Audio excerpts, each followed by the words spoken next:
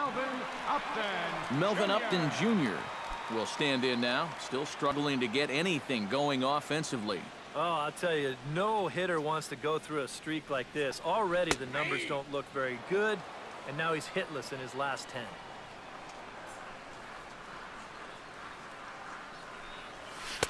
Now a splitter, and he lays off a ball and a strike.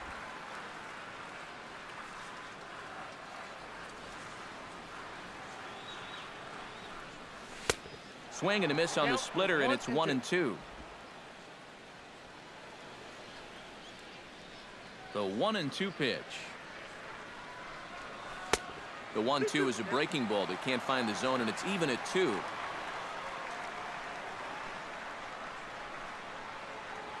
Hit hard down the line.